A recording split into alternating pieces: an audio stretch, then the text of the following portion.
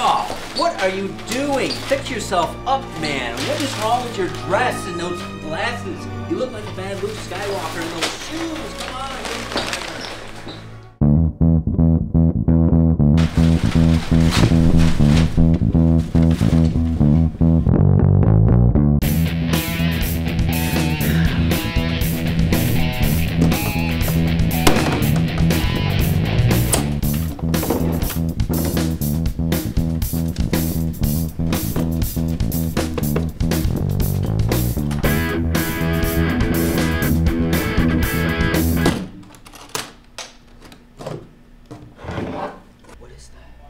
What, dude?